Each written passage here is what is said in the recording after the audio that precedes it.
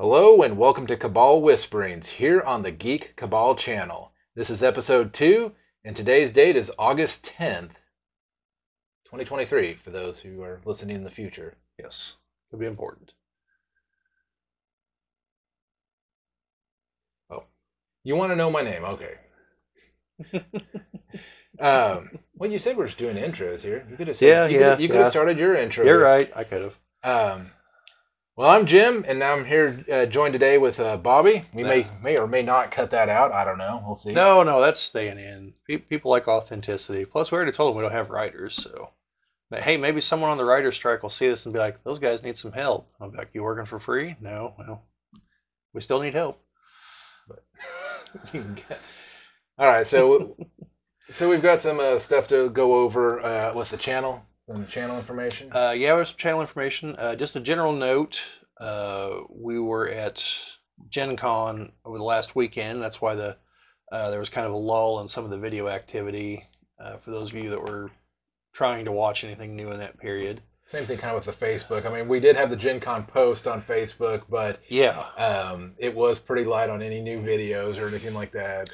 Yeah. In fact, if you're not on our Facebook group, you should check it out. We do have. I posted a number of pictures. Uh, Jim, I believe you posted some pictures as well, and uh, I have more pictures yet that I'm going to post uh, once I sort through them.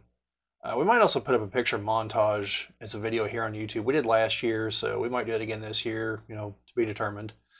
Uh, so, some uh, just general notes. After we're recording this after the first episode has been uploaded and is now available. So now I have an idea of how things actually look on that end as far as uploading to YouTube for their podcast section. So I have a little bit better idea of how we want to structure things here. And so going forward, the general idea is we're going to try to do a weekly episode. If we get really good, we're actually going to schedule it for a certain day uh, as far as putting it up. We're going to record it someday during the week and then put it up on a specific day. Uh, so there's probably going to, there's going to potentially be a little bit of a gap between when we record, which is why we said the date, uh, versus when it goes up. So like if something happens in those intervening days, yeah, we're probably going to talk about it on that podcast. Uh, the downside of everyone's schedules not gelling and uh, the uh, editing process taking a little bit of time. So that's this is one thing. Uh, we are going to number the episodes. I've seen some people do seasons. I guess if we do a season, I don't know. We'll figure that out. Maybe maybe for a year or something. That'll be the season. So there won't be an episode fifty three ever. I don't know. We'll figure it out. Or there won't be seasons. I don't know. So, uh, oh, excuse me.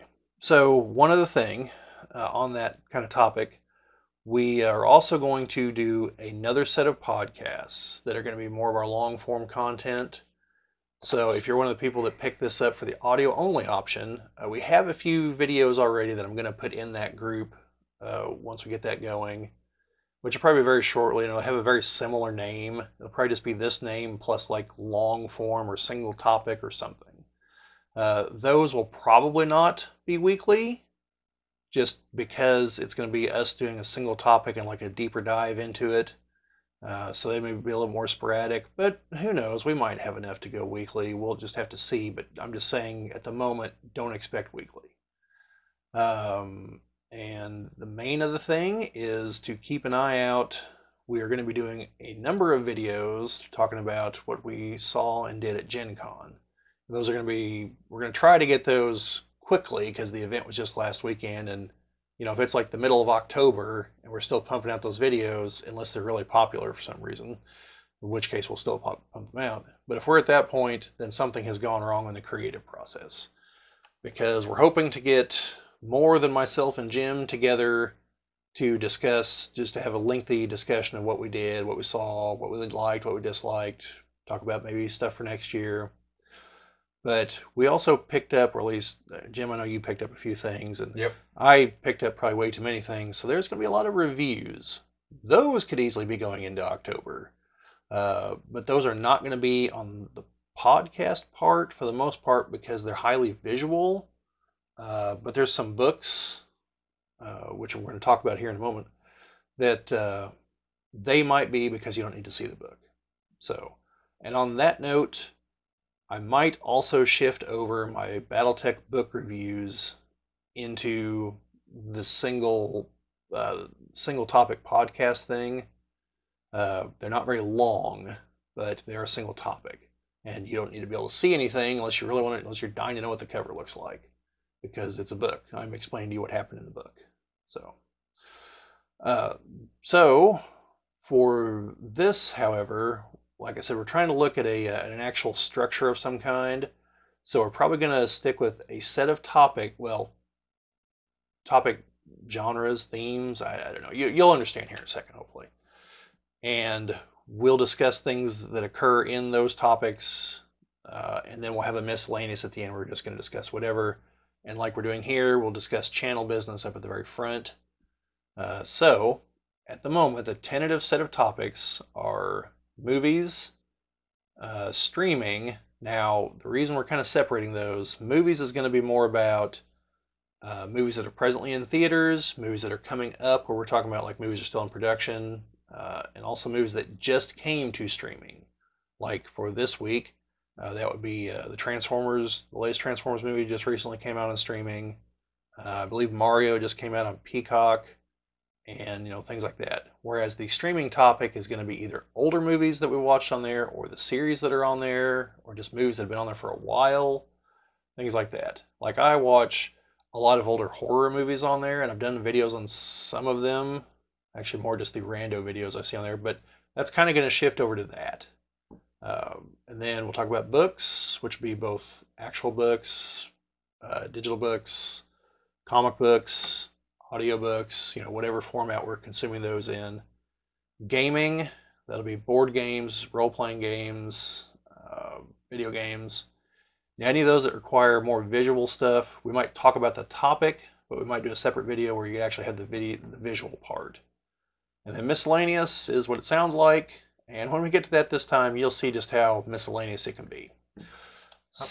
I don't know what you're talking about. Missile. I mean, hell, every one of our topics goes into the goes into the uh, realm of miscellaneous. so- Yeah, yeah, it does. So, So, uh, and we're going to try to stick to that rough order. And we might add other topics at some point if we see that there's something else trending that we want to talk about. Uh, or if one of these just like falls apart, we're going to drop it. So, but this is the structure we're going with for the moment, just so there's like a, so you guys have an expectation of roughly what we're going to talk about. And uh, yeah, so here goes. We're going to start with movies. Jim? all right. So, um, Bobby hasn't seen it yet, but I've watched uh, Transformers: Rise of the Beast, and I have to say, uh, I liked I liked Bumblebee. I thought Bumblebee was a great departure from what had came before. I mean, I did like the ori- the original. I do have one question before you continue. I hate to interrupt you. Is this in continuity with any of the previous movies? No. Okay. No, at least I don't believe it. If it is, I don't know how. Okay. But uh, they may be because it, maybe they threw it all the way back in the past. But I thought in the first one they came from outer space. In the first movie, they landed on Earth, like you know, because that's where they. Yeah, I mean, some of some of the other movies don't appear to be in continuity with some of the other movies. So I, I was just curious. I, I'm 'cause pretty sure. like I'm you said, pretty sure it's not it. because because as much as I do actually like the very first Michael Bay Transformers movie, I thought it was a good movie. Not a great movie, but a good movie. I thought Bumblebee was definitely a better movie. Again, I don't know why they had to go with the Bumblebee losing his voice. That's where it kind of seems like it, maybe they were trying to keep the continuity. Maybe maybe that was something that happened in the comics. I don't know. But this does take place after Bumblebee. It doesn't actually play on anything from the beginning or from that from that movie. Um, but they do make mention of the um, of Hawkeye two uh, actress. Hailee Steinfeld. Yes. Um, they said, "Oh, we knew you cared about her, but you know, you know, kind of back often like, yeah, screw those people." Um, uh, well, and the, the the main character in this movie kind of gets pulled in because he's uh, and gosh dang it, I, I should I should remember the one um, Mirage. Yeah, Mirage is the one is like kind of the main transformer they follow in this one. Okay. Um, Bumblebee's in there, but he's definitely kind of a side character in this. But uh, guy's trying to uh, steal Mirage, and Mirage gets called to, uh, you know, Optimus saying, "Hey, you know, giant beacon light in the sky that we can see that no one else can see just got activated. We need to go see what the hell it is, Okay. kind of thing. So, um, again, it was. It, I, I like the fact that they actually kind of explained where the um, where um, the uh, Maximals came from.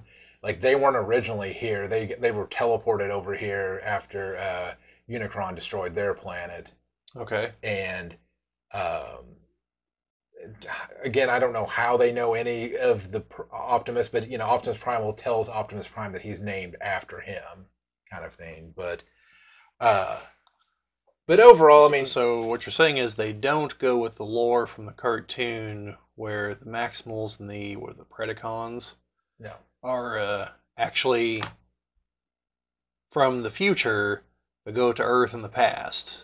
they, at least if, if they did explain anything like that, it it it wasn't mentioned very well. I don't know. I just know they had been on Earth for like for you know decent long time. They've actually like Maximals had kind of like integrated with like people like Okay. um like there was like you know I don't, I don't remember where they were at but they were at some like ancient village and like they were just like animals in the wild for them you know they knew what they were but they were protectors Well, in Beast Wars, there were people there, right? I remember right. I, Because initially they worshipped, I think, Waspinator like a king once everyone else left. Because he got stuck behind whenever they finally left to go back to the future. And then they, like, catapulted him into space or something. That I don't know It's been a while since I've seen Beast Wars, folks. But I mean Beast Wars is the, the pinnacle of CGI um what? Come on. I think we all know that goes to, uh, what's the one that actually takes place inside of a computer? Not Tron, but it's a cartoon. Yeah, I know what you're. I know what you're Um, referring to. Um, but no, I, I, I I don't want to go into you know too many spoilers, but I mean, the um, the Maximals come to Earth with a device that Unicron wants and needs, and it's not the leadership of Matrix. Um, it is something else. You know, but uh, like some of the problems, like like with the Dinobots in the um, I don't know what's Age of Extinction Reboot. um, Yeah, yeah, that was the show I was trying to think of, folks. uh, they they explain where everybody came from and why they were on Earth, and it so it made sense and it didn't feel like it was out of place. And again, not perfect storytelling, but um, it was, I think, better. And the trans the, oh, the one thing I wanted to mention is they actually got Optimus Prime's transformation to the truck right. Because there's a point where he's running from an explosion, and when he's running, he like falls onto his legs as his body Oh, folds. like, like his arms go into his side and everything. Like Yes. that. Okay. It- not not just random bits of metal shifting around. Yeah, well, because the way it worked before is that the front of his legs are are actually Yeah, they're, they're, the tires are down at the bottom of his legs. They become the back end of the truck, of the chassis where the where the trailer would mm. attach. but his body has to spin, like his his chest Yeah, is facing right. the wrong way. that's right. So somehow he gets it where he he does that. He his body you know twists, and yes, his arms come into the side. His and, head like. yes, All right. one of the best looking trans you know transformation scenes in a Transformers movie. Now, I have to ask though, did a trailer randomly appear out of nowhere and attach to him? No, Oh well. no, he never. I- had, you, you can't have everything, I guess. He never had a trailer, but uh, there's only one. It, it, it's like I say, it's probably the best transforming scene, and then there's a little bit of a weird thing towards the end where, um, if you want to know spoilers, uh, Mirage does get uh, killed by one of the leader of the Predacons. Hmm. Um, well, he's Is that Megatron? no, it's a Scourge. Scourge. Um, well, and it's a kind of a fake out death because like he dies, but before he dies, he somehow like says, "You, it's up to you now." Uh, and again, I, I need to look up what the name of the character is on that movie. Uh, but the the main human character, he says, "It's up to you now," and somehow Mirage's parts like start attaching to him and builds like builds like the the suit for Spike.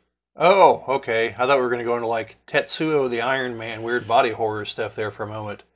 Total side diversion, folks. You want to see some weird Japanese horror movies where a man slowly turns into metal? Check out Tetsuo the Iron Man. Noah Diaz. That's that's the character's name. What's Uh, his name? An- Noah Diaz, played by Noah Diaz. played by Anthony Ramos. So, um, yeah, so his character gets like Mirage's, uh, like what's left at works wraps around him and becomes like a like the suit from the Okay. original uh, '80s cartoon. Gotcha. Which is a good playback because in the '80s, '80 uh, the '80s Transformer movie, uh, the humans did have robotic outfits that could transform somehow with them in it. Um, but th- they were fighting Unicron, which is the same thing they did here. But Uh, I've seen a a thing that actually kind of makes fun of what you were talking about just now. It's uh, the Clerks cartoon, Clerks animated series. It's like the, it's got to be the third or fourth episode. Uh, there's a court case, and at the end, uh, instead of like finding for anyone, it, just becomes a party, and it's literally like goes like Japanese anime. But I was like, oh, big America party, oh, like they all take off in a car. Like, oh, who's driving? Oh, Bear's driving. There's a bear driving the car, but a bunch of them get into a transformer kind of car. When it gets to where it's going, it transforms back, and you just see like all a bunch of red fluid come pouring out of the car. it's like, oh yeah, you guys should have jumped out of that before you transformed. So, uh, uh, also something else you folks should check out if you like the Jay and Silent Bob movies, the Clerks animated series. Second episode, pure genius. You know how all the shows last long enough to have a flashback episode? Well, their flashback episode is the second episode, so the only thing they can flashback to is the first episode. Genius. But continue. Okay, so the um, the, the, well, there's a couple of there's one kind of cool thing because at first I thought they were kind of going to allude towards um because the uh, Noah's character uh, gets approached after he's trying to get a job. He's at a job interview supposedly, and he gets approached, and um, it turns out you know that they knew everything that went on. They said, "So how did it, you know how did your your your little trip go to?" And I think I want to say Peru. I think is where they went to. I could be wrong, but was, I think it was Peru. And he goes, "What do you mean?" He's like, "You know, your friends down there that you saw." He's like, "Your big friends." You know, and at first I thought, "Oh, they're gonna go with the um, Sector is it Sector Seven? sector, yeah, w- Something like that. from the first Transformers movie." I said, "Okay, that's kind of a cool way to tie it, you know, tie it back in or whatever." And you know, so it's like I'm I'm just waiting for him to see on the you know because he hands him a business card and you see him you know the wall opens up and there's a whole like facility down beneath with like craft and different things in there and I'm thinking okay so they're going to reveal that this is what that is and that they've known about this tech for a while and then he, flips the card over and it says GI Joe on it and I'm just like you know I as good of as decent of a movie as it was, I'm like if they if they continue this on with somehow the GI Joes being either a part of it or its own separate thing that just at some point are going to merge, Yeah. I'm all cool with that because it I think it's it's setting up something good. Now, the part that was kind of like oh this is kind of dumb is I guess somehow Noah at the end takes the suit he has, rebuilds a hodgepodge Porsche, and Mirage comes back at the end, and I'm like. I'm like, I don't think it's just like you can be a mechanic and put together a transformer, but okay. uh, you wouldn't think so, but Now, from the comic I was reading, though, um, I guess in the comic, it, uh, Optimus did not have the leadership of Matrix. He actually had a the um, a creation matrix, which allowed him to create new Transformers. yeah, in the comics, that's what he has. Yeah, so that.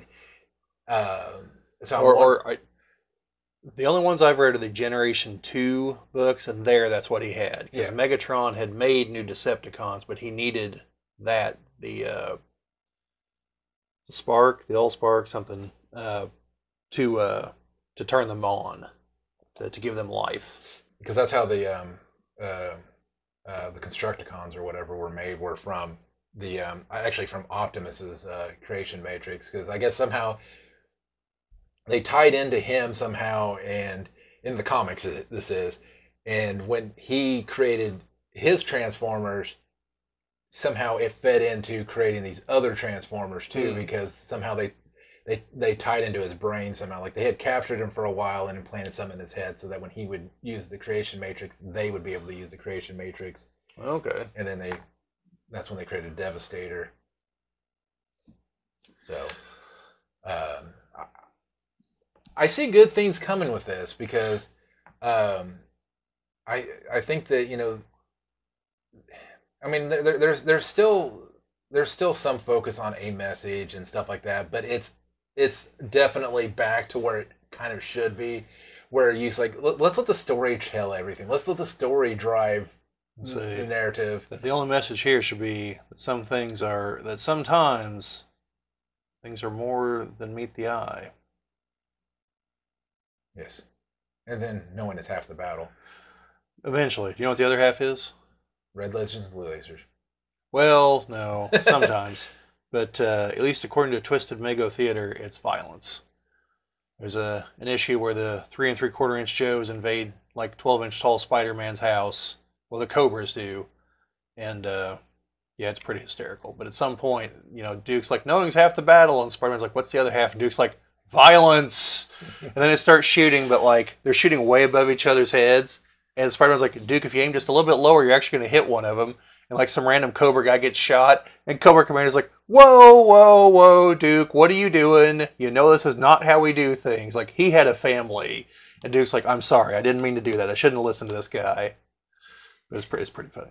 Uh, but on topic, uh, from whatever, from everything I've read, the initial plan was to use the Transformers movies as a jumping off point for the GI Joe movies, and supposedly uh, we can thank Tyrese for just screwing it all up.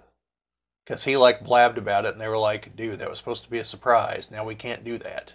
Because it was supposed to be those guys in the army from the first movie apparently were supposed to end up being like the joes at some point or some subset of Well, and I hear that a lot because um, there was a comic book review I was listening to the other day. It was about um, oh, Armageddon 2001. It's a, a DC line, and Monarch is a hero turned villain uh, kind of story arc, and in the future becomes like tyrannical and had you know killed all the other heroes off and stuff like that. And supposedly it was leaked that it was supposed to be Captain Atom, who uh, had a you know like his family was killed or something. You know, you know same thing as always. You know, stick you know stick the wife in the refrigerator kind of uh, moment for him where he becomes evil and somehow puts on a set of power armor that allows him to kill everybody, all the heroes. so it's monarch not Captain Atom Nope. huh because i actually have some issues with him in it like i was pretty sure it was Captain Atom It's Hawk hawk from Hawk and Dove. yeah okay Um, and all because like i said it's Captain Atom so anyway it's supposed to be yes, and it should have been because Hawk is not strong enough, regardless if you put him in power armor to to kill all the heroes. But um, I think that's a problem. Is that yes, it sucks that a leak has gotten out, but rushing to change your plans because of a leak like that. yeah I mean, that's like, gosh, could you imagine when Mark Ruffalo mentioned about Infinity War being a bloodbath, um, and uh, uh, uh, Rhodes? I'm trying to think of the actor. Um, uh don Cheadle. yes, he um, he's like, dude, shut up, like right in the middle I of an mean, interview. And- yeah, but if if you've read the comic that came out thirty years before the movie, almost like you know that Thanos wipes out half the life in the universe, like in like issue one, if I remember right. So that's not exactly he like to me. The surprise was that the movie actually went for it.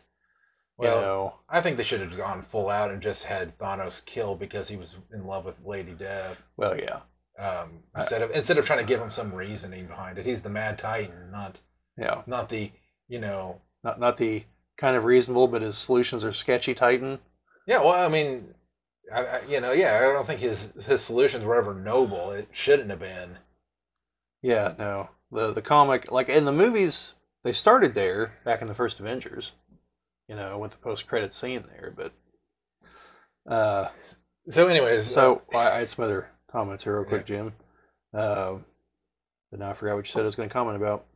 yeah we, we we can always wrap it up Uh it'll come back to me here in a minute though, but I'll I'll go to the other thing. Uh they another company now has the comic book rights for both Transformers and GI Joe, and I'm hearing they're going to part of the relaunch is they're going to have an ongoing where the two universes are merged.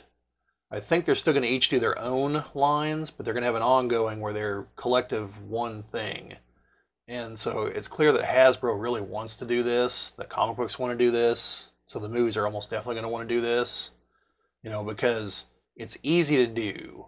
It's a really easy way to explain the advanced technology that Cobra and GI Joe has. You know, and, Well- they don't, and they don't have to interact a lot. You know, they just have to. Each half needs to just know that they exist and occasionally acknowledge it, and then you're fine. Well, I was gonna say the one thing, the power suit that Noah wields in uh, the Rise of the Beast is almost eerily similar to the one that they had in the first GI Joe movie, the uh, the live action GI Joe movie. Oh, the accelerator suit. Yep. You remember what accelerates? You. You. Yeah. I swear I think about that every time I see those accelerator blowers in the bathroom. And I didn't even like the first G.I. Joe movie all that much. No, no.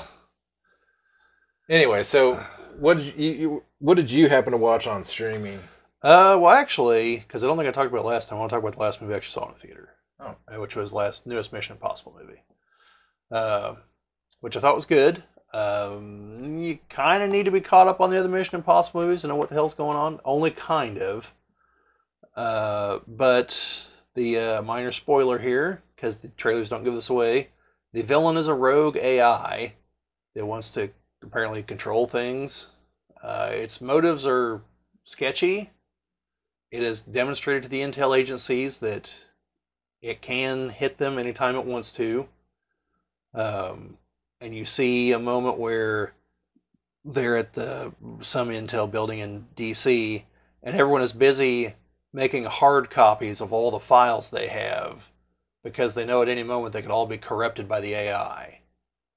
And um, so there's there's a, an interesting moment where Cary Elwes plays the director of intelligence, and like the head of the CIA is there. That's Ritter from the first Mission Impossible movie, uh, same actor.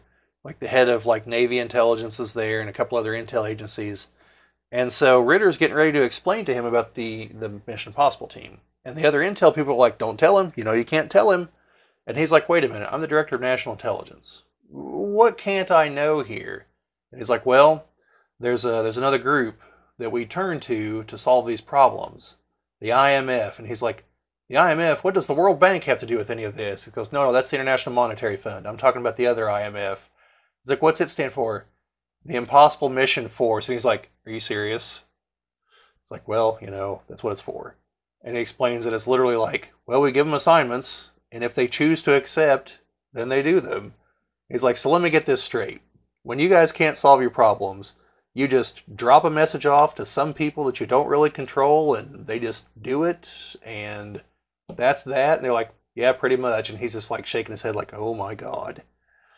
So greatest part of the movie. But uh no the uh the, the stunts are all over the top uh, like you come to expect you know tom cruise is actually doing like 90% of them uh which is amazing and uh, the movie, it's part one of two. The movie actually does have like a natural ending point. It doesn't just like, well, time to roll the credits, I guess.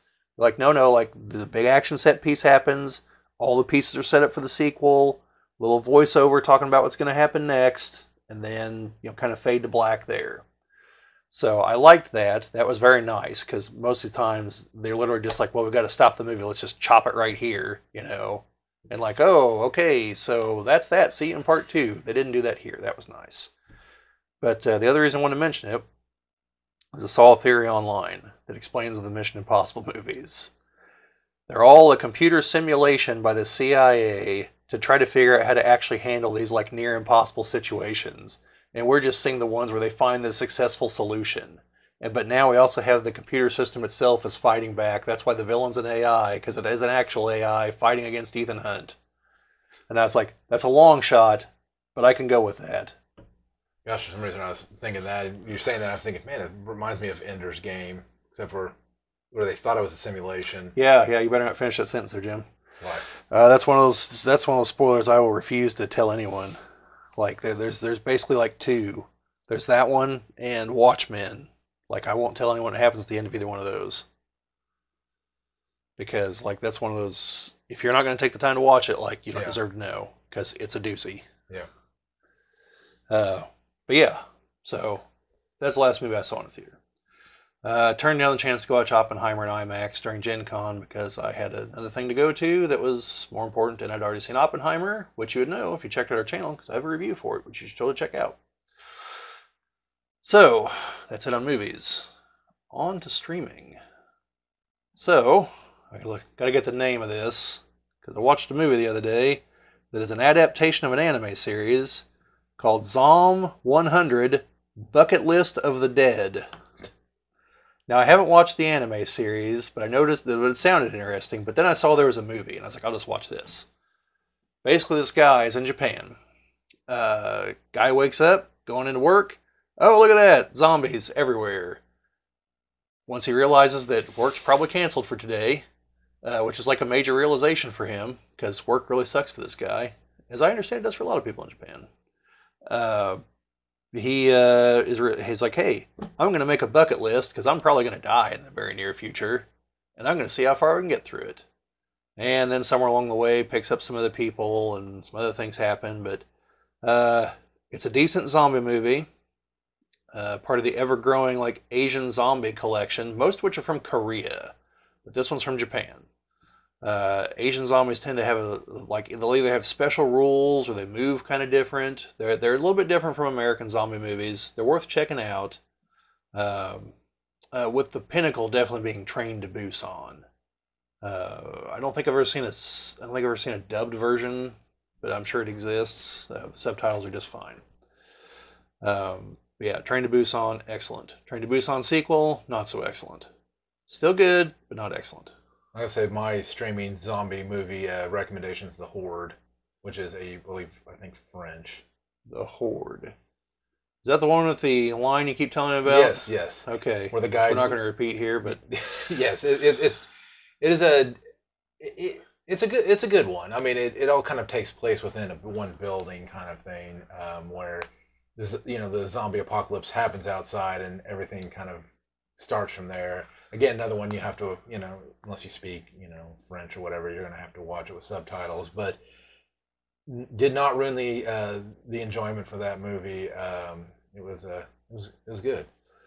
Well i know in this one like like i said a lot of them have weird special rules. In this one it's that the zombies operate primarily on hearing. So the people figure this out and so they start bringing like air horns and stuff with them to distract the zombies uh, it's a minor spoiler, but it's really awesome, so I'm going to tell you about it. the end of the movie, they fight a zombie shark. And initially, they're like, oh, it's on land, it's not a problem.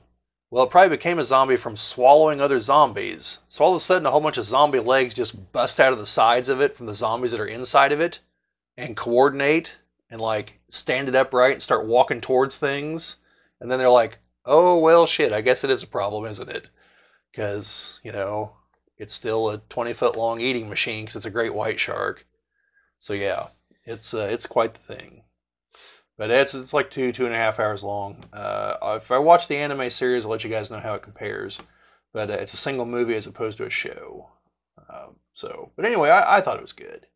You know, I'd say for my my streaming movie, uh, it, it, it was a well, last week or before that I watched it uh, was Caveman from 1981 with Ringo Starr and Dennis Quaid. I think I've caught clips of that somewhere along the way. Well, there's a. It's it's it's pretty good because I mean obviously everybody starts in the very beginning speaking caveman so they're like you know, um, you know like so like everything like food is like ool, yeah, you know, and stuff like that and later they they do end up finding like the smart is like I want to say he's like you know there's like this, there's like the smart caveman he's like no food. And then you know like you know but then you know the uh, the inappropriate act uh, zug zug and he's like like zug zug? And he's like okay zug zug. Didn't prefer snoo snoo um but but yes, there's a there's a point where they they stop a stop motion T Rex with a am um, pretty sure it's supposed to be a marijuana bush. They shove it in its mouth and it eats it and gets stoned off its ass and yeah, yeah. falls off a cliff after that. There you go. Um, but no, it's, it's it's it's a good comedy. I mean, obviously one of those movies that would not fly today by any means. Oh well. I mean, Let me ask you, like, are we talking like mildly inappropriate, or are we talking like Blazing Saddles?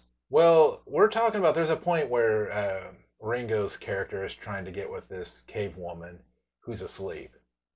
Oh, well, yeah.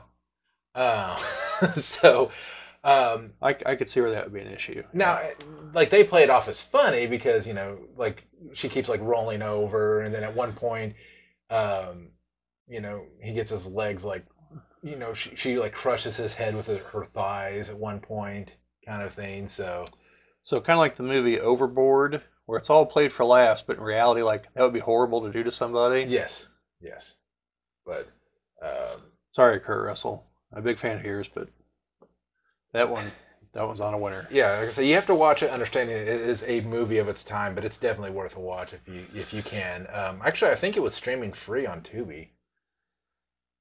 Yeah, I come across stuff uh, every time when I remember that Tubi's on there. Because every time I go on there, like, man, there's all kinds of stuff on here. Yeah, and yeah, I say you know if you want to find a place to find streaming movies for you know for free, Tubi is a pretty good place to do that. The only problem is is that uh, there's a lot of commercials. Yeah, I Yeah, mean, that's what you get for it, but I mean you don't pay for it either. So you know, there you go.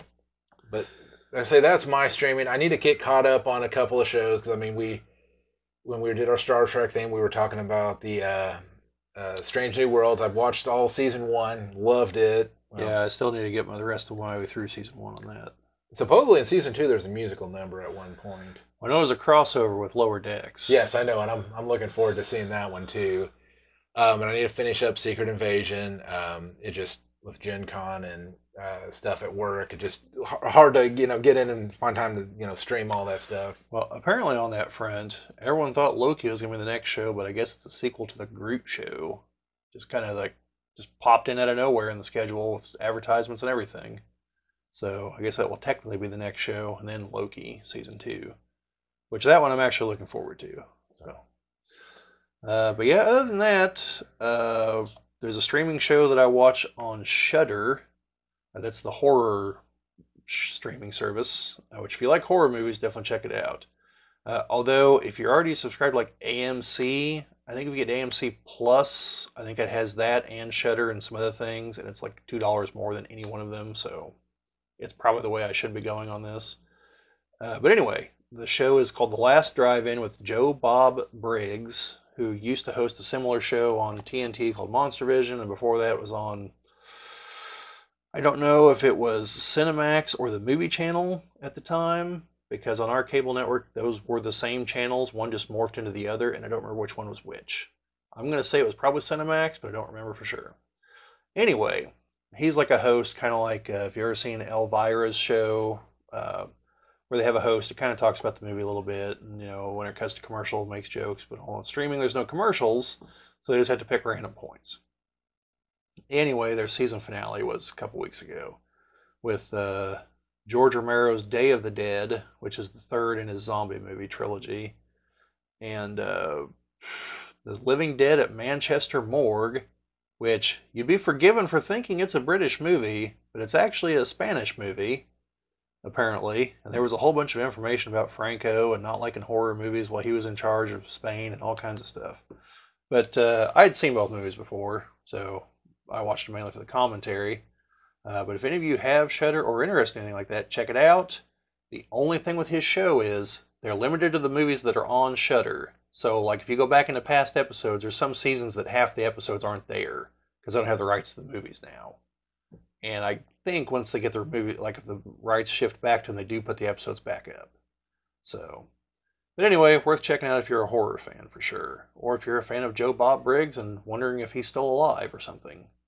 They're five seasons in now, and uh, they always do like a, they usually do a Halloween special, a Christmas special, and a Valentine's Day special. So here in a few months, we'll look forward to the Halloween special. The uh, Valentine's Day special this year, they actually married some people because during the Christmas special, they auction off stuff, and one of the things they auctioned off was having Joe Bob preside over the marriage in Las Vegas, which he did dressed up as Elvis. Yeah, speaking of people that, I guess uh, in the news there was a uh, a thing for. I guess there was a thing going around with viral death hoaxes where they say, "Oh, the celebrity has died," and Sam Elliott was the most recent one. Oh, that one never made it to me. I didn't hear he died. He did I- not.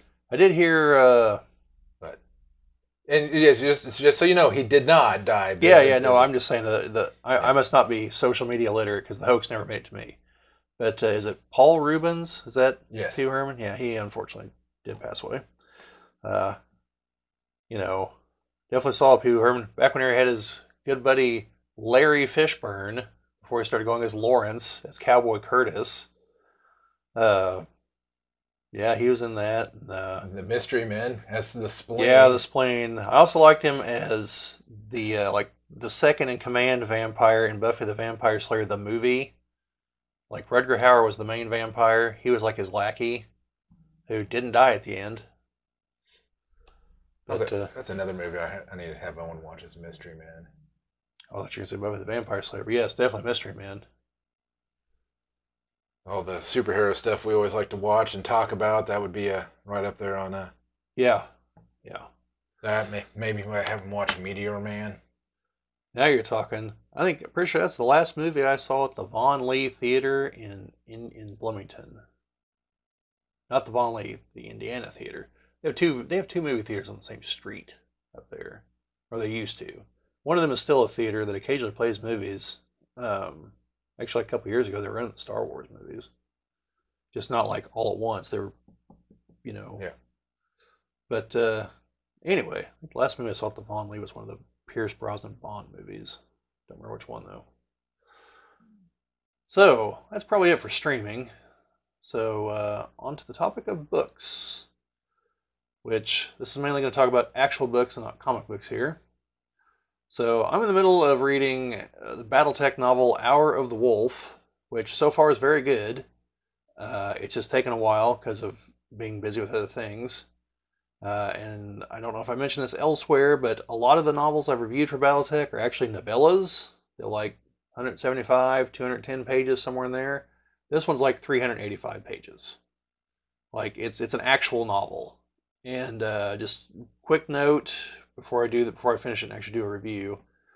Uh, it's very odd reading a BattleTech book that actually takes place on Earth, fighting over locations I actually know about versus like, oh, we're out here in, you know, New Avalon and this, you know, this one city. It's like that's great. That's all fake. Like, you know, it's a good book, but you know, the other's like, oh, I know where I know where that is. You know, it's it's a little little odd because I think I've only read one or two other books that actually take place on Earth in the BattleTech universe. So that was just kind of interesting. Uh, but so far the book is good, and once I'm done, I will definitely do a review of it. Uh, probably say something about it on here, but definitely do a review. So keep an eye out for that. Other than that, I picked up the newest Dragonlance novel at Gen Con. Uh, that'll be the book that I read after the Battletech book. So I uh, was able to actually get this one signed by uh, Tracy Hickman and Margaret Weis this year.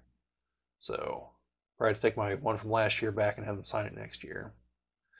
We'll see. I try to get a bunch of them signed one year, and uh, I was able to get Margaret Weis's signature, but Tracy Hickman, I could never find him.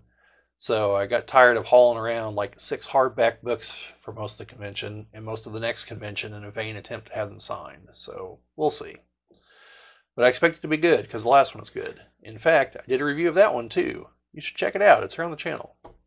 Yeah, I've seen a. Uh, I'll, I'll link it in the description. I'll link it in the thing for the people that are actually watching this, and which should put in the description. So yeah, I've seen uh, on Facebook uh, a lot of this GalaxyCon uh, stuff, which I guess is a kind of a big convention that goes along in a lot of the big cities, and they always have who's going to be there, and you can sign up for autograph sessions and such. And they have two like ma- like big packages for Star Trek. They have one where you can get um, uh, William Shatner and Walter Koenig on the same thing. okay, Um, and then the other one is you can get uh, the next Generation. that's. Chekov, right? Yes. Okay. You can get um, LeVar Burton. Um, I'm thinking Beverly Crusher. I think what her. Uh, Gates McFadden. Gates. Yeah. Um, Jonathan Frakes and Brent Spiner. I think it was. Is it Brent Spiner? I think one of them. One day it had Wil Wheaton.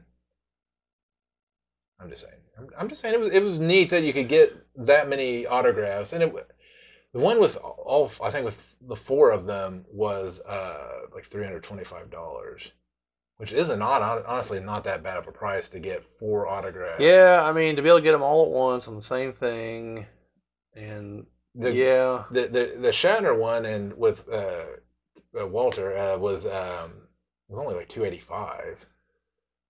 well, what we end up paying for the picture with Shatner? Is that Hundred and hundred 120? yeah, something like hundred twenty. It got bumped up right after he went to space. I just remember that part because it originally initially advertised as a hundred. You know, and I mean, I I was like the second one in line uh, in that one session, so I don't know if you know. It was nice at least get it acknowledged, but it, I mean, they had the snot glass in there, so you couldn't uh, the sneeze guard, so you couldn't uh, actually like you know shake his hand or you know say hi. Even Yeah. really, it was just kind of like you know take a picture you know, so get the hell out of there. And it's like you know. At some point, I wish I could go back and get his autograph. I wish, you know, if I did, I'd have him autograph my picture of us. Yeah, yeah, Um, sure. It's just at the time, you know, as a as a single father, it's not easy to spend, you know, two hundred bucks on, you know, at once on something like that. Yeah, so, I, I wasn't going to hit. That's only one. That's the only one of two pictures I have with a celebrity.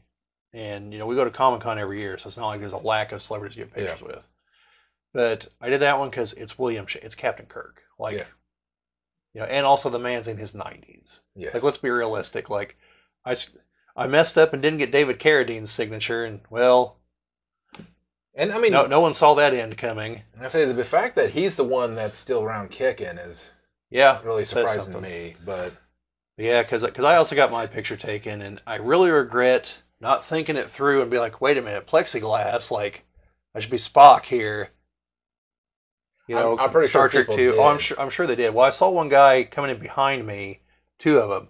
One was dressed as Kirk from the original series. The other was dressed as the Gorn, and uh, I think they actually went through twice and took a couple pictures. So yeah, well, because think the problem is, is that when you're in the Gorn outfit, they're not going to see your face, so it's like, Eh.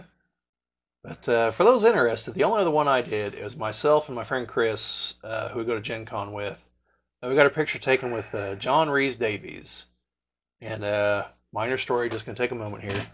Whenever Gen Con first came to Indianapolis, uh, they had celebrities, and the autographs were free because they were paying the celebrities. So we tried to get John Rhys-Davies' autograph, so I could Sallah from Indiana Jones, of course, you know, and numerous other things.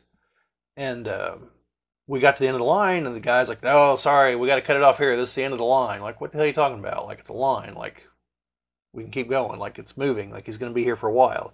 No, no, his airplane was late, and he's, he's got to leave early. And like, all right, fine, guy, whatever. Uh, there was also a woman dressed as a Tie Fighter pilot, and collectively, we were pretty sure we could take the other guy, but you know, didn't have a place to stash his body except under the stage. So we not we opted to not go for that plan. Uh, so we didn't get it there, and then like 13 years later, he was at Comic Con, and we actually had a minute to talk to him beforehand, and we mentioned it to him, and he's like, "Well, thanks for coming back, guys." And then uh, while we're sitting there at the picture, uh, I don't know what he did to Chris, but like he definitely was holding me like right here and like literally like grabbed or tried to tickle or something. I don't know. Chris, the way Chris explains it was grabbed his ass. So I'm pretty sure he didn't actually, but I don't know. mm, It was one of those like, well, you know, if it's got to happen, Sallah, I guess. yeah. yeah. so, yeah, I've got a picture of that somewhere. Uh, now, the only autograph I did bother to get, which was also free, was Traci Lords. You know who she is, I assume? Um, now, is she of the adult Yes. variety? Yes. She's an adult film star, notable for the fact that uh, most or all of the movies she's in, she's actually underage. So they're all technically illegal. Uh, Nice. but uh, she's also in a few sci-fi movies. Like she's in the first Blade movie. She's the woman that brings the guy to the club at the very beginning of the movie. Um, she's in Virtuosity. Uh, she's a couple movies on the Sci-Fi channels. Like there was like a sci-fi fantasy reason for her to be there, but I think she also wrote a book. Uh, but yeah, so later years you had to pay, and then eventually the whole autograph thing pretty much died off there because Gen Con's just not really that kind of convention. Um, yeah, one year Kevin Sorbo was there, and that man is every bit as tall as he looks on screen. Let me tell you, like he is very tall. Uh, but yeah, uh, Walter Koenig was there. David Carradine was there. I believe Richard Roundtree was there. Uh, Marc Singer was there. This is all in the same year, by the way. So it had Chekov and or Bester, uh, Kwai Chang Caine from Kung Fu, or Bill from Kill Bill, if you prefer. Uh, the Beastmaster, Shaft, Hercules, and uh, uh, there's a woman named Bai Ling who played one of the Jedi in the the prequel series, uh, Shaak Ti, I think. So Chris and I couldn't help but notice there's like a pricing chart because everyone had the same price. And at the very bottom, in kind of small print, was nudes. And we were like, presumably that only applies to Bai Ling, but we're like, we can see Carradine maybe selling them too. so yeah, but uh, we didn't go for those. Uh, there were some of the folks from MythBusters, not the main guys, but like the the, the other crew, the other Yep. three. They were there, and Chris got their autographs. So, but yeah. So we're we're not super into autograph stuff, but you know things like Shatner, it's like I say the uh, first uh, autograph that I got at a convention was um, Ian McDiarmid. yeah, I do kind of regret not getting. Well, really kind of regret not getting uh, Carrie Fisher's autograph.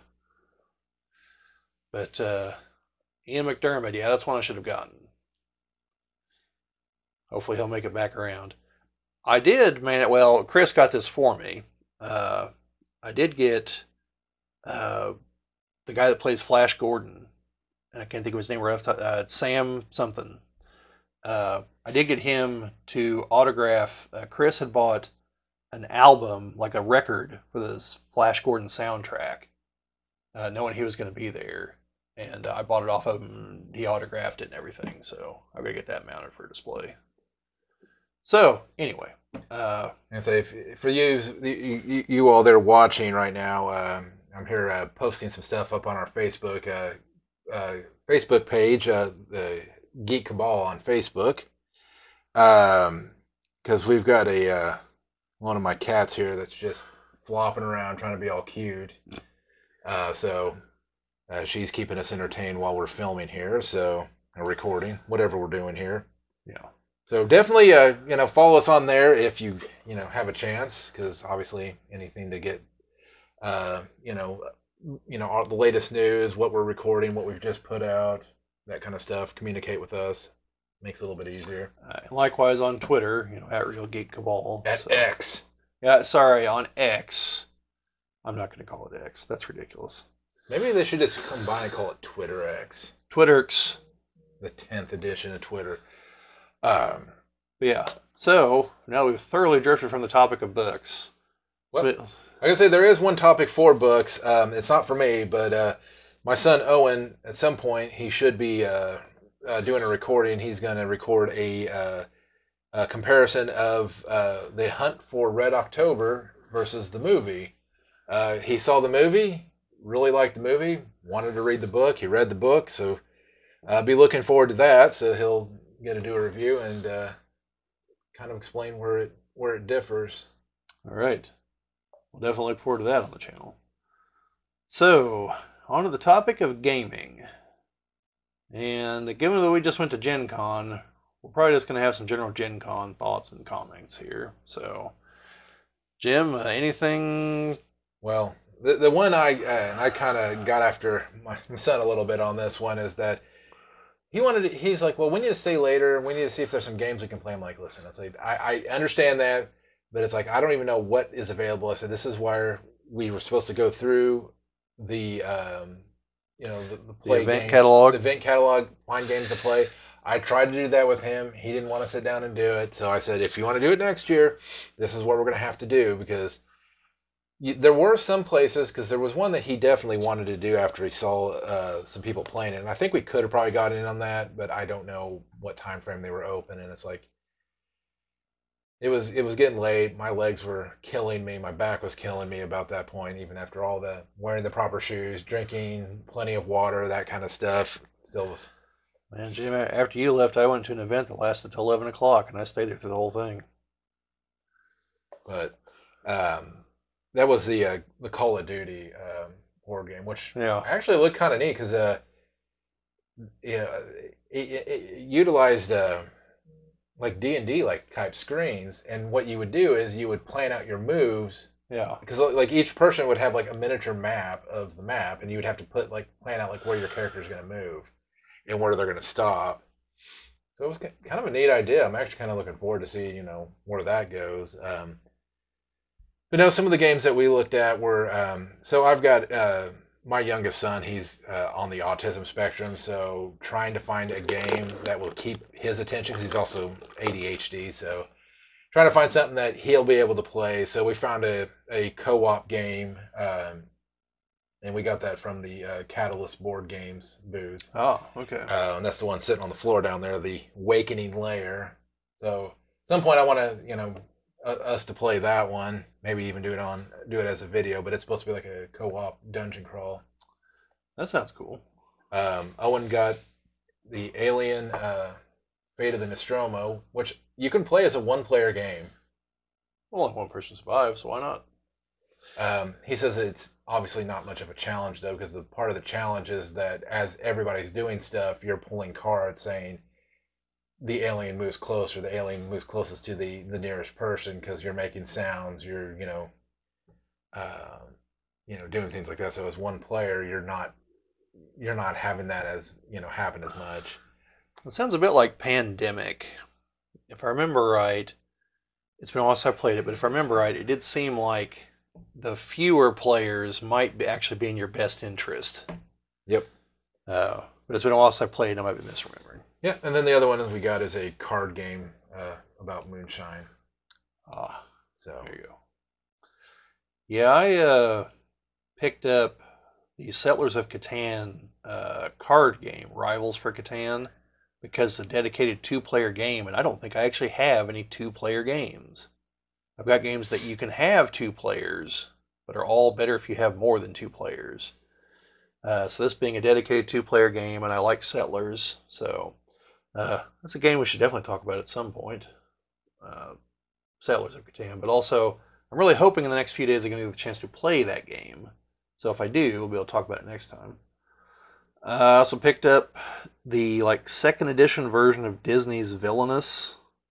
Uh, they changed some of these streamlines and things, did some stuff. I don't know.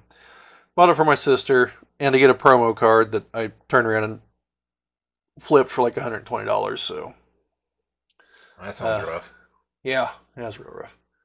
Uh, so, also on the Gen Con topic, for those of you that are not following us on Facebook that didn't hear about this otherwise, apparently the night before the show started, which had been Wednesday night of last week, uh, I believe it was Wednesday night, uh, someone walked out with like $300,000 worth of trading cards.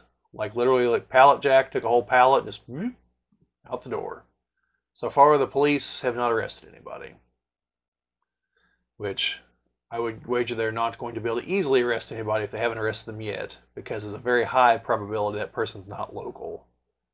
And if they couldn't figure it out by now, like the old image enhancement only does so much. It's not it's not like the CSI TV series. Um, Or somehow you can get like even a sharper image than the camera's actually able to do. Yeah, yeah. Uh, so that happened. Uh, also, apparently there was like a whole, like, I guess Wednesday night, early Thursday morning, people began to line up for the Lorcana card game that was made by Ravensburger. Uh, this is a Disney card collectible card game, uh, similar to Magic as far as like conceptually, like how you acquire it. But I'm guessing the rules are different. I didn't play it, so I don't know. Uh, and I don't play Magic anyway, so I wouldn't know the difference. Uh, but this game was like wildly popular because this is where it first premiered. It's not actually available for retail yet. And from what I'm reading, it might not be for a while longer because people's orders are getting, uh, I don't know the term, but essentially throttled. Like, conceptually, the same thing as being throttled. Like you order 10 booster boxes, you only get one. And uh, so people started lining up. I think it was early Thursday morning. And sometime around 5 or 6 a.m., someone just crashed the line and a bunch of people followed them in. So people that had been there for hours all of a sudden found themselves not anywhere near the front. And uh, yeah, I mean, on the one hand, jerk move, but on the other hand, it's not really an official line. So I mean, you're kind of really just a mob of people in rough organization at that point. Like that's that's my take on it. Like it's it's a dick move, but Well, don't worry, karma will find those people. I well, I'm just saying, like if it's not really an official line, I know, I know, I know. But karma, karma Yeah, will I'm, hit not, those. I'm not, you know, I don't advocate it. You know, I'm not not saying you should do it. But on the other hand, like if it's not really an official line, like you should kind of expect that's going to happen. It just makes you wonder though, like, it, was there something wrong with like the printing and stuff? That's the same thing like when uh, uh, you had me wait in line for uh, the WizKids booth to get the uh, the Hawkeye and Hawkeye figure, Yeah. um, and it was only on a Saturday. You think by Saturday you would have enough figures? Well, the Lorcana thing was a matter of everyone and their brother wanted in on it. Oh yeah, I know, I get that. The the Hawkeye, the the WizKids booth, that's more than just didn't bring enough stuff. Okay, and I, I don't know. I don't work for WizKids. I don't know if that's because like the other container fell off the ship from China or something, or they just didn't make very many of these things. I don't know. I just know they didn't bring enough of them.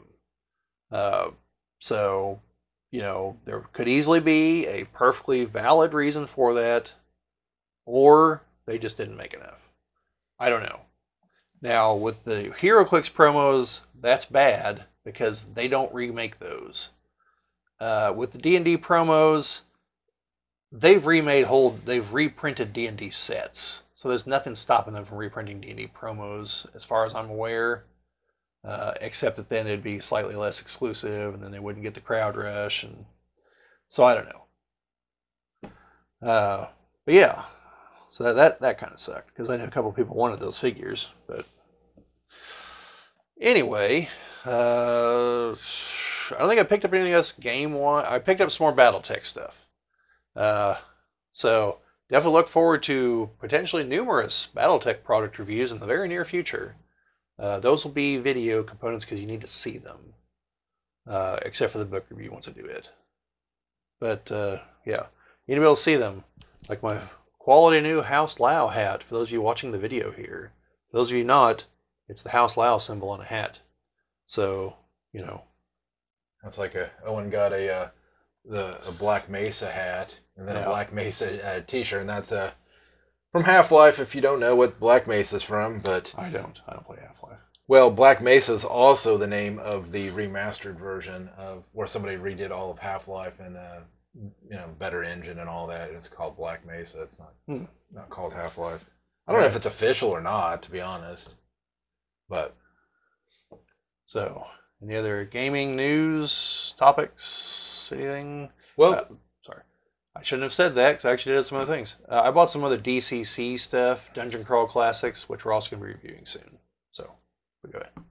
Yeah, well, I was gonna say the uh, the one thing that uh, was kind of great uh, about us going to Gen Con was actually meeting one of our fans. So that was a uh, Yes. that was yes. a uh, a humbling experience to have somebody you know that really liked our content enough to be able to meet us out there and you know uh, uh, meet Brian and. Uh, Patrick. and Brian, Patrick. Brian and Patrick. Well, I didn't get to meet Patrick. I only got to meet. Oh, that's right. You didn't get to meet Patrick. Yes, I I met, I- I, met the two of them, and uh, Patrick was not with Brian whenever we, he met up with Jimmy here. And I apologize, apologize, Patrick. I would probably like to meet you as well. Uh, but I did. It was it was definitely nice, and we got a picture. It's up on the Facebook page as well um, of that. So um, it was good to get some actual feedback and some um, Yeah. and finding that we're you know kind of inspiring others to you know not not be so intimidated by this because hell you don't have to be a professional to do this. I mean hell we're not. No. we can God no. I mean, there's there's barely times that we know how to speak and act, and their equipment's still trying to figure it out. Um, there's one thing I forgot to you know mention at the beginning. There is that uh, uh, right actually before we filmed this, I filmed my uh, next uh, unboxing old stuff video, so that should be uh, up. You know, I don't know if it'll up, up before this one or not. But definitely look out for that because that is a interesting. But you can also see that we're still new with the camera because it had an issue with auto focusing or wanting to like trying to balance the light when I was uh, showing stuff on camera. So I was gonna say just just so you know, I- I'm probably gonna put this up first uh, because we released the other one last week, and I would like to at least try to try to get close to weekly. So I think this is probably going to be going up first. Well, yeah, this one will take less to edit, anyways. But, anyways, definitely look out for it though. So, gosh darn, nope, cats are uh, attacking the microphone tack, cords. attacking the microphone cords, so that's that's fun. But uh, we already got a first reaction on, yeah, Sarah. She she liked our guy put on the Facebook page that uh, that Ginger's here keeping us entertained. Oh, And Ginger's my cat, if you don't know. So, um, she's there trying to knock the mic, uh, knock, uh, pull the microphone cables out, trying to knock the camera over, trying to chew on my Aquarius box over there. Uh, and the Aquarius is the what I am box, so interesting stuff. Anyways, I think we're on to on to miscellaneous. So, well, one of the um, uh, reviews I was watching was on the uh, Transformers comic, and you can see that the way that the the comic book and like this also goes on with the cartoon shows is why they jam pack so many new characters into those things is so that they can just sell as many toys as they possibly want. Sure.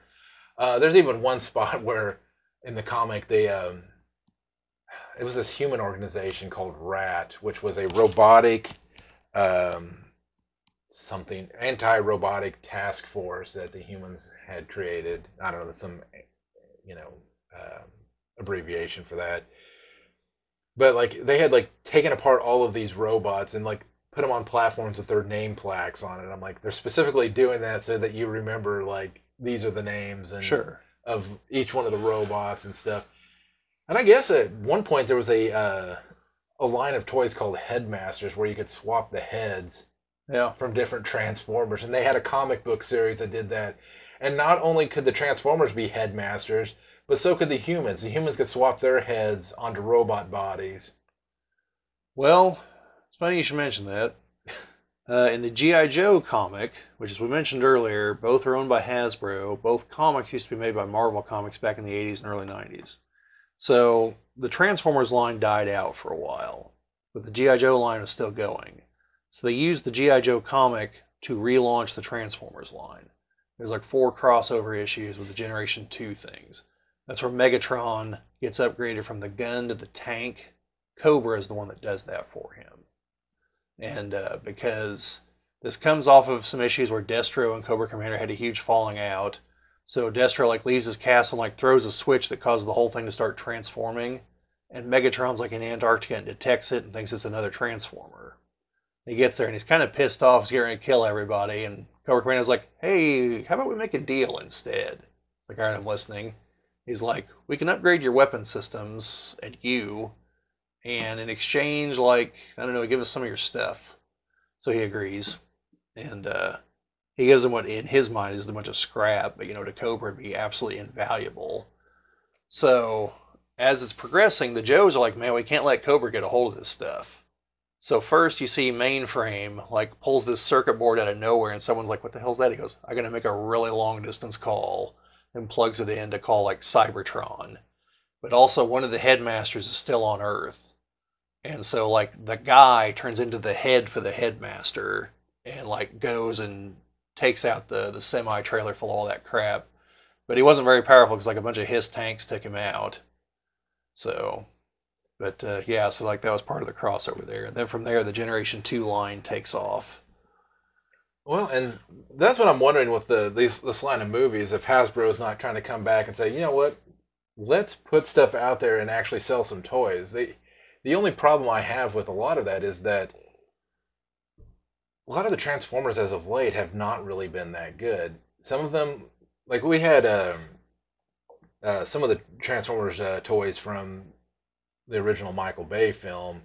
Uh, one of them was a Bumblebee that turned into the Camaro, and one of the problem I had with it is that it was almost way too complicated to actually transform and try to get it to to fit together properly Well, versus like I have my still have my you know my original Optimus Prime. He's not the he's not this first series, but he is he's the one that actually had on his trailer had a um, like a, a sound pack where you could push buttons and it would say Hmm. like some phrases and yeah, stuff like that. I still have mine, and when I bought my when I got mine new for Christmas, he was he was always missing his hands. it came missing his hands, Hmm. so I could never put the guns in his hand. That sucks. Uh, but I still have it. Uh, he's not in the best condition, but when I look at that and how like how he transforms is just the, the way that generation generation two, the older Transformers period, the way that they transformed was just a lot smoother operation than these ones where they want them to be so detailed, and then it's like you you lose some of the um, you know the the playability with it at that point. It's like, oh, I need to transform my character. Hold on, I need to pull out this instruction manual on how to transform it back. I'm not joking. There are some that would literally come with an instruction manual to show you how to transform it back because it would be so complicated. And I'm hoping if they do use this to release a new toy line, that they try to go back to something that's looks good, but it's maybe a simpler design. Well, at least it's not like the Unicron figure from the HasLab that takes almost two hours to transform from robot mode to giant death sphere mode and comes with like the equivalent of like a hardback book for the instruction manual. It's got like 180 pages to it. It's it's something just absolutely ludicrous. But in robot mode, the figure is like two and a half feet tall. So But no, I, I the only one the only transformers I bought recently are uh, and I haven't taken them out of the box yet. hopefully Soundwave. They're uh why? Soundwave's awesome. Well, they haven't released the one I'm going to buy yet.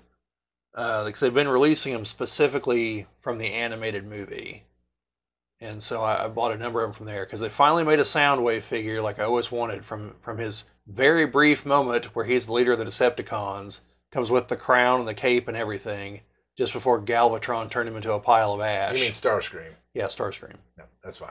Um, yeah, that's the other thing I learned in the comic is I guess for a while Shockwave was leading the Decepticons and Megatron was like, Yeah, Sho- well, while while they were all stuck on Earth, Shockwave was out there winning the war. Well, I guess at some point Shockwave ends up on Earth in the comics and uh, Shockwave pretty much supplants Megatron as the leader, and for a while Megatron's his second in command Yeah, wasn't surprised, man.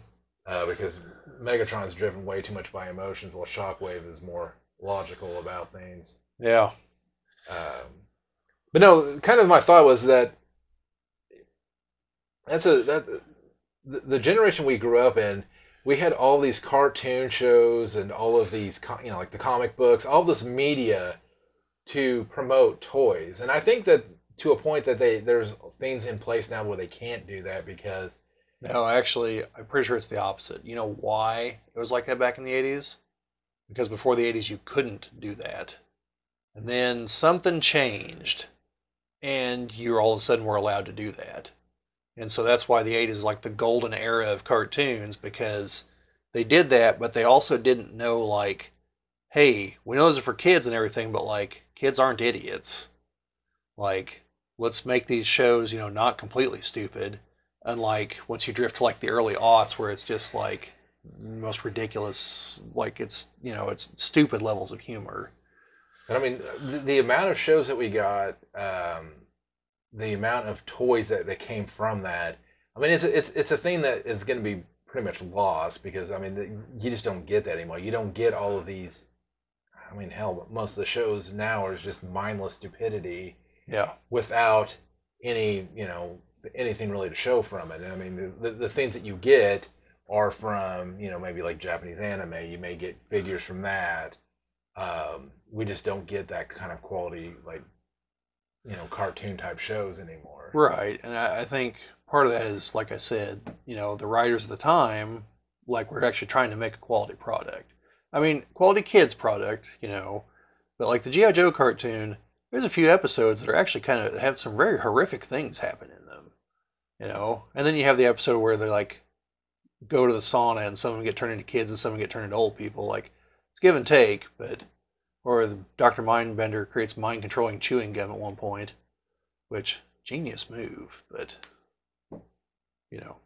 Uh, for the GI Joe cartoon in particular, I saw a thing about it because I think it came out before whatever that change was I mentioned, and so their workaround was the cartoon was actually an advertisement for the comic book was what they tried to tell everybody, even though the two had like radically different storylines. Uh, minor diversion here, folks. Here it comes. the GI Joe comic book was written all but one issue of the original 155 issue run was written by Larry Hama. That just doesn't happen in today's comics. Uh, it rarely happened at, at that point in time. So he controlled the whole comic book line. And he said before, like, yeah, they tried to force new things in there. Like they told him, you will include Serpentor, and he's like, all right, fine. And then and then had Zartan shoot him in the head with an arrow later to kill him because he hated the concept. So he made sure he went out like a total punk. Uh, but he would stick with like using like the Cobra soldiers and Vipers all the time, even though it was like well into the 90s when there was no possible way you could get those figures anymore because they came out in 1984 and 6 respectively. So like he just stuck with what worked in his opinion, and later comics did too. They'd throw in the occasional specialist Cobra guy, and like they'd rotate the GI Joe roster a little bit, but the comic was pretty locked in place. Then the cartoon would find excuses to use the other Cobra soldiers, but a lot of times it was still just the regular blue Cobra soldiers or the Vipers or the Bats. The bat they used the bats because they could shoot the bats because they're robots. Because the uh, the old GI Joe cartoon has an approximately zero percent fatality rating. Yeah, even with the poor people that were in the Cobra bubbles. The Trouble Bubble, Yes. yeah, they remembered wearing their parachutes, Yes. like all good Cobra soldiers. but I mean, there was like nothing to that vehicle. Like their leg, didn't their legs dangle from the bottom? of yeah, yeah. It, any any realistic physics of that, you'd be dead if that thing got shot. you wouldn't have to worry about crashing. You're gonna get shot. You're gonna get killed in the initial hit. I mean, that's that's like the Tie Fighter of the Cobra. Well, they had those. Both sides had hang gliders with weapons on them. Uh, the Joes even had some vehicles like that too. But yeah, I mean, kind of crazy looking back on it, which we should at some point. But yeah, so that was the workaround for that one. And I imagine since Hasbro made both, that's probably the workaround for the Transformers too. Was to say that it's really just an advertisement for the comic book because Marvel made the cartoon. You know, Well, if you ever if you ever see it's Marvel and Sunbow, Sunbrow.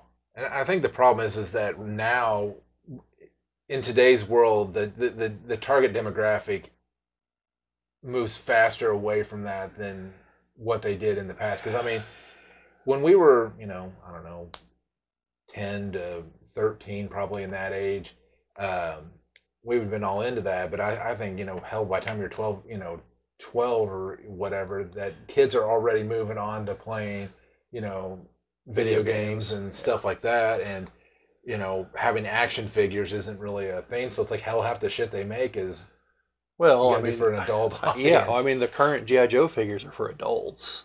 They're six inch figures that cost almost twenty five dollars. Like kids aren't buying those. I mean, a kid. Okay, there might be a handful of kids that are buying them, and if you are, they're awesome toys, I imagine. But they're uh, no, those are for adults. Same with the Marvel Legends figures, and you know, same with the McFarlane Superman figures. which is, which is also why I think a lot of the the toys for kids are also of a way lesser quality um, than like where they you know where they don't worry about articulation they don't worry about durability yeah, Um, I mean, that's. I mean, hell, I've got some of my, uh, got some original Star Wars figures still, and I mean, I, I can tell you that they were played with and all that stuff, but they're still there, and still around, and same type of figure made nowadays. You'd be lucky if they last a couple of years before dis- Yeah. disintegrating into nothingness. Yeah. Except for Lego. Lego's awesome. Oh, yeah. I've got a couple of sets I should bring in sometime, and and we can do a, a review on. I've got a McDonald's Lego set. There you go. Um, I, I have a recent one that I plan on doing a review on. So, like literally, like literally just came out at the beginning of the month. oh yeah, and uh, if you saw the um, the Enterprise uh, building block sets that we did, um, I actually got uh, some more uh, Star Trek sets ordered. I've got some uh, uh, Klingon vessels, the D7 battle cruiser and a uh, bird of prey that I will be uh, putting together. Maybe on this one I'll actually record me actually assembling one of them at least, so that you know kind of go through that. We did actually try to record the other one, but um, turned out you know you might want to make sure you can see if your phone's still on when you're recording it. Um, yeah, we ran into some technical difficulties on that one. so you're like, hey, we're just about done. And like, oh, well, my phone had been dead for, you know, 30 minutes at that point. It's like, well, shoot. Yeah, well, that was Uh. and mine was dying, and we were having to look up the instructions on my phone, and yeah, it was just bad. So, uh, it's a great thing about learning about um, putting all this, you know, videoing stuff. It's it's a learning process every day. I mean, every single Yeah. time our videos may look a little bit different because we're trying something a little bit different. Uh, you know, like you know, today we're trying the camera in a little bit different spot, uh, trying the lights in a little bit different area, see if that helps with the, you know, with it not uh, auto focusing and dimming and doing all the weird crap it likes to do. So, Yep. but But uh, yeah, I mean, to Jim's point, I, I, I think like just looking at my sister's kids, William, I don't know what toys he actually ever played with. Like he builds Lego sets, but then that's it. Like, and I've even bought ones that are like you're supposed to do stuff with them, and he's just like, "Well, what now?" And I'm like, "Well, it's it's a it's a monster truck. Like, you know, drive it around. Like, what do you mean? What's next?" And he looks at me like like I'm talking like I'm speaking a foreign language. Like, you're crazy. Drive it around. What the hell are you talking about? I'm like, you know, use your imagination. You know? Yeah, I, I get that with uh, with Grant, my youngest, because he's got an entire Minecraft village in the other room, and it's like, get in there and play with it. Just he's like, but what am I supposed to play with? I'm like, just get in there with your figures, have like a little, you know, whatever, you know. I don't know. It's it's it's it's a different generation. I mean, we had computers and stuff. Don't get me wrong. Um, that's a hell. That's a whole topic we could have a discussion about. Um, the times that uh, me and Bobby would play uh, Command and Conquer uh, over dial-up. Yep. So you know, get get them up on the phone. Hey, I'm gonna call your computer, or you're gonna call my computer, and having to set your computer ready to receive a call, and you know, hang up and then connect, and You know, I think uh, I think the remaster actually still has that option on the menu. well, because I played Command and Conquer with you, uh, Dustin. Uh, I played uh, Doom with.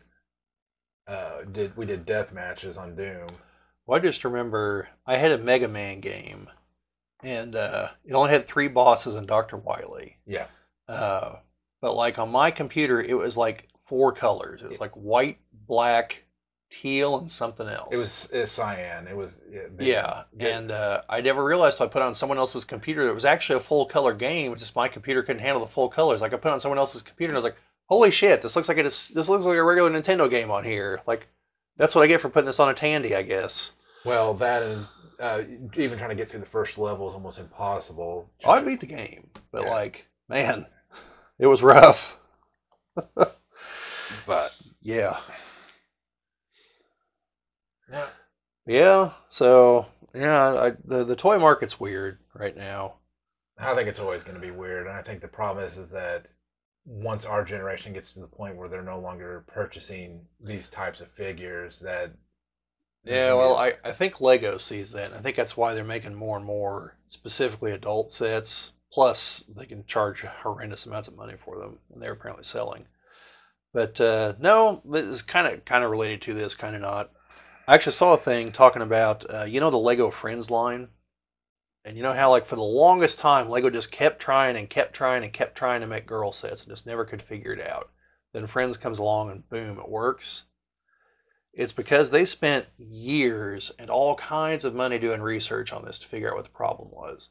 And what they ultimately concluded was boys and girls just don't look at toys the same way. Boys look at it like, say, you hand him a Batman figure, you know, and all of a sudden he wants to know everything about Batman. He's going to play with it as Batman. He's like, I'm Batman, you know, and stuff like that. And a girl. where are the drugs? Yeah. Where are they? You know, stuff like that. You know, like he's that's what he's going to do. You know, and uh, and with a girl, they see it and they want to make it them. Okay, so if you hand them that, all of a sudden Batman's going to be having a tea party or something. Yeah. And so that's just a huge difference. And uh, so that changed how they looked at the Friends line. And so they engineered it with that in mind, and it works. Like Friends sets sell like hotcakes. I think some of them actually look really good. You know, there's definitely some design features I've seen, and like, man, I wish these were in the regular Lego sets. Hell, I'm tempted to buy them because it's the same scale. So that was another thing. They they made sure they're the same scale, even though the the Friends, the little mini dolls, look different than the mini figures. They're a little bit taller, but all the entryways and everything, it's all the same scale as the regular sets. Because I've definitely seen some things there that I'm like, man, they should make this in the regular line. Well, and the one thing that um, I found, uh, you know, like I, I found out, and some other, I, I've shown people that a lot of people think, well, you, you buy a Lego set and it's going to be for little kids and stuff like that. But there's actually like almost a therapeutic thing to it as well. Putting together, together a set, looking at instructions, just like putting together a puzzle. Yeah. Uh, Well, I mean, that's essentially that's what it is. Just you have instructions for it. It's Yeah. A, it's a 3D puzzle you have instructions for.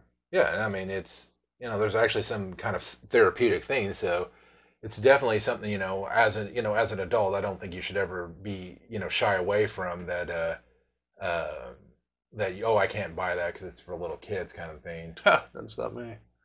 Well, I was gonna say there was a one picture of one of the riots where there's a guy. Oh yeah, the guy stealing the Lego sets, and everyone's like, "This guy knows what's up." I just uh I mean you know I mean I guess if that's going on that's the guy had his priorities straight on what he needed. yeah, I don't know. But- Seems like uh, it's an episode of It's Always Sunny in Philadelphia. You ever watch that? Okay, but you know Danny DeVito is one of Yes. the main characters. Okay, so he's talking about like there's about to be a hurricane or something hit, and he's like, "I'm telling you guys, there's going to be a riot." You know, he's like trying to tell them what to do and everything. Like, how do you know so much? Frank goes, "Well, I was in the L.A. riots." He's like, "They're like what?" And so he shows them a picture. It's him running out of a store with a giant big screen TV. Like, Frank, why were you in the riots? Like, you didn't have any problem with the with what was happening there in L.A. at the time. He goes, "No, but I was able to steal a big screen TV, so that's what I did." And they're like, "Well, okay." And so they're in the store there at the very end, like things are getting kind of dicey, and like the wind picks up outside, and Frank's like, "This is it," and just starts yelling riot, and everyone just starts stealing things and smashing the store up, and yeah, there's like a hardware store because they're trying to get ready for the hurricane, you know. Oh jeez. Yeah. So anyway, uh, yeah, and like, like I said, I really will review that Lego set. It's a uh, the Star Wars set, the uh, the mech sets, not at all canon at all, but I could see the Empire using something like this. So it's a Stormtrooper mech set. Uh, there's also Darth Vader and Boba Fett, but so far I've only bought the Stormtrooper. But they look kind of cool. I'm going to put them in mind. If I ever make a big display with my Lego stuff, they're going in there for sure. Yeah, I was actually kind of surprised that our uh, the first building set video actually did pretty well. I mean, it's Yeah. I think we're almost up to 100 views on it. So Yeah. Um, Yeah, so this one, I've already got the set built, but I bought a second one because the Empire never builds one of anything. Uh, so we might try recording building it, maybe. But there's also some other things I'll show you whenever I do the review. That's kind of kind of interesting about it. Uh, so anyway, I think that's all we're on that topic. So we just got one more. I saw this in someone else's video recently. It was in the news a few months ago. Uh, this is the kind of thing that might show up here in the miscellaneous news stories we can talk about that don't get stupidly political. So apparently, someone is claiming that they have made a superconductive material that works at room temperature. Now, for those of you that don't know, and I'm hoping I'm getting this correct because I'm not a physicist or a materials scientist, but I'm given to understand that the general idea is a superconductor has essentially no resistance to electricity. So, hence the superconductor. Although normally it has to be incredibly cold or under incredible pressure to work, which limits its uses. Something at room temperature, if it actually works and doesn't just like disintegrate, then uh, yeah, that's like change the world kind of technology. Because all of our electronics will become considerably more efficient. Uh, the wiring in your walls will become more efficient. But the main thing will be the power lines. Because as it stands right now, whenever you generate electricity, you have to account for the fact that you lose some to resistance in the power line. And they're very conductive. They're the most conductive things that we can make at the moment. But you still lose a, you still lose some, which given even just the U.S. electrical grid, that's a lot at the end of the day. And so it would it would reduce our consumption of resources to generate electricity, uh, which is good. No matter what your thoughts on on the green deal and all that is, doesn't matter. Us us consuming less is always a good thing. So you know, I was gonna say if there's anybody out there that's like, man, we need to be consuming more, I'd be like, I mean, I, I, I Yeah, I- yeah. I mean, I, I've sh- I shouldn't say I shouldn't say it's always better because like there are parts of the world where people are hungry and obviously literally consuming food more is would help. yes, But generally speaking, consuming less is is the is a worthy goal because even though I'm of the opinion that our resources are probably going to last for thousands of years, they are finite. So accelerating using all of them is always a bad idea, you know, unless it's towards a goal of greatly reducing them somehow, you know, like spend a bunch of uranium now to somehow have fusion in the future, you know, that's an that's an okay trade-off. Uh, but just in general, you know, you you the lines would be better.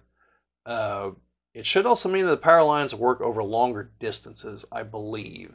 So we literally could just put all the power plants in the middle of the desert where no one lives. Well, the the um, reason we use alternating currents because DC current can't go over long distances. Right. Yeah. So, I, I saw something about that. Like the proposal was essentially giant batteries every few blocks or something like that. And uh, Tesla is like, that's stupid. Do this. well, I was gonna say Tesla was working on even a greater thing, which was a wireless electrical current, being able to move it through the air versus Well, uh, wasn't our uh, friend that we met up with there wasn't he wasn't talking about something like that? He said he's in telecommunications, right? yeah. And he's, I believe he was saying something uh, akin to that. So, I mean, supposedly Tesla had it figured out, just never implemented it. And there, there's still some things from his lab that people have access to because the government grabbed most of it once he died, especially the earthquake machine, uh, which I believe uh, MythBusters proved would actually work. or where they where you uh, find the resonance of like Yeah. a bridge or whatever Mhm. or a building, and if you can, and it As long wasn't as, as long as you can get on the right frequency, the oscillator will event, like the the waves start start accumulating and start shaking the whole thing, and it eventually collapses. Eventually, you know. which is crazy to think because it wasn't even a very big machine. No, no, it was like it was like a foot, maybe two feet across, just just an oscillating, you know, piece of metal basically. They just had to tune it to the right frequency, and they were like at the other end of the bridge, and you could feel the the bridge starting to shake. So yeah, because the supposed story is that he couldn't, that Tesla was using it and couldn't turn the machine off. And like when the police got there, he's trying to smash it with a sledgehammer because it couldn't turn off, and it was starting to rattle the whole building it was in. So, because I believe the concept is it would start slow, but it builds and builds and builds until finally you hit the the break point.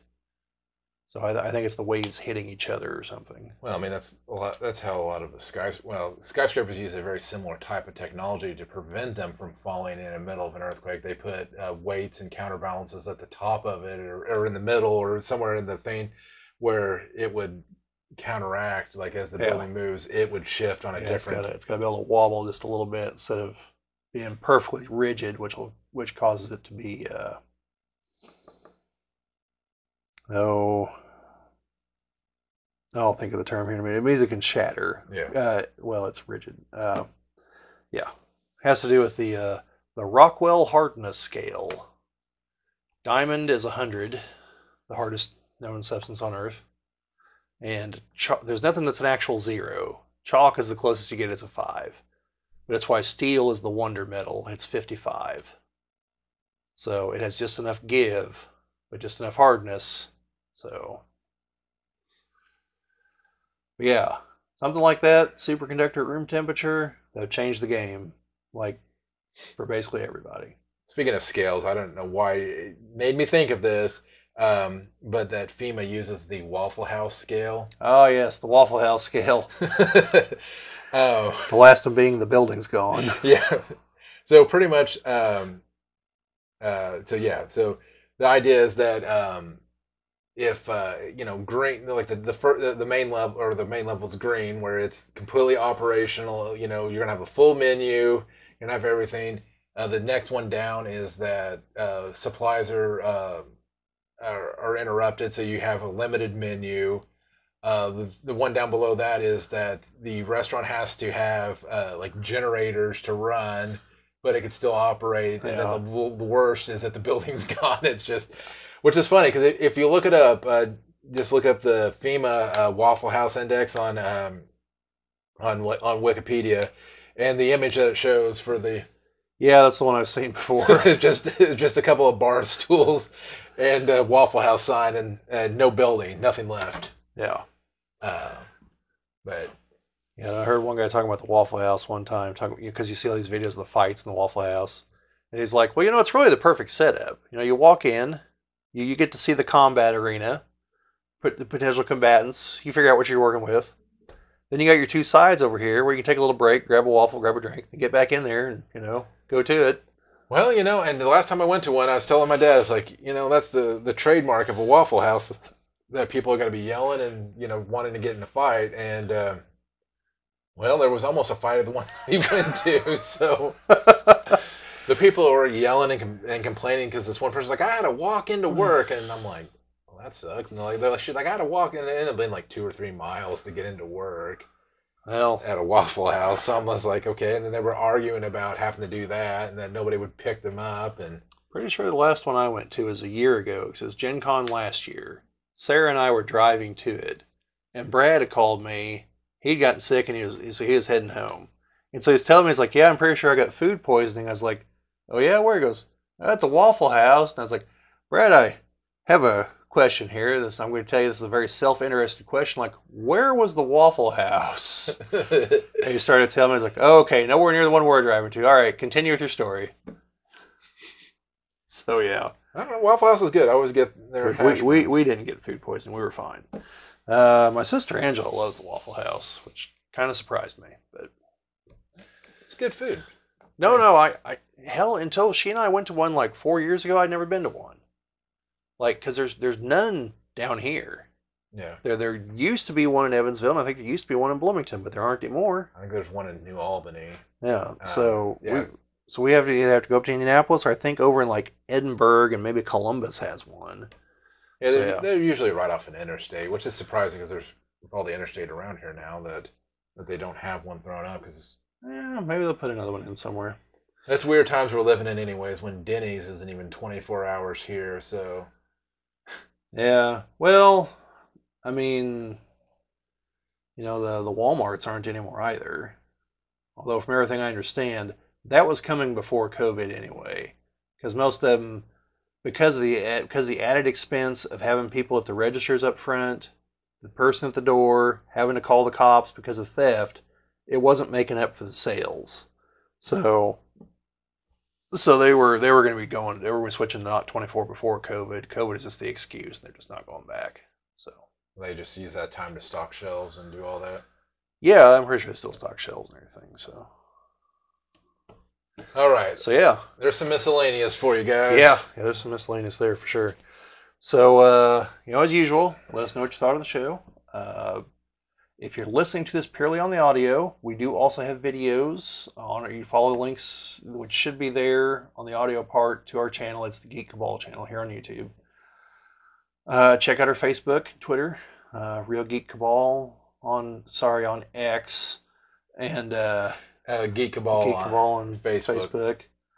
Uh, but otherwise, you know, just let us know what you thought.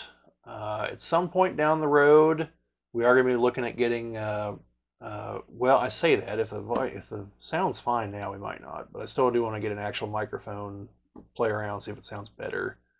But I just don't get into the black hole of okay, well, then I got to buy a second microphone, then I've got to buy a mixing box, and you know, I don't know. We did when we did the uh, Gen Con video. We had a, we had these lapel mics taped to the uh, to the table, and they didn't sound bad. Yeah, I mean, like I said, it sounds it sounds good now. So uh, I just want to see if the other sounds better. You know, especially for people that are listening to this audio only. Uh, but anyway, uh, so look forward to that maybe sometime in the near future. Uh, but otherwise, you know, like, share, subscribe, all that fun stuff. If you have that option on the audio only part, I don't know. If you're watching the video, please do that. Well, I assume they do. I assume they have the ability to subscribe to. I'm assuming they do. I've really, I've really got to. We got to go in, not logged in as uh, as us, but as me, and try to find it and see how it see how it really looks on that end. Uh, but anyway, please do all that. Uh, but share it, comments, comments what we really love because we know what you people want to hear us talk about. Uh, do you want to hear more of things like the superconductor thing or the toy thing or what we've been watching on streaming? I'm assuming you do on the streaming because you watch the videos I do about the random videos I watch on streaming. So, uh, But anyway, uh, Jim, you want to lead us out here since you're the, the master of the outro comment? I don't know if I have any good outro comments, but I mean, you've already done the out the the, the like, comment, share, subscribe. But, anyways, this has been a Cabal Whispering podcast, uh, brought to you by the Geek Cabal channel. And thank you for listening. Yes, thank you. See you later.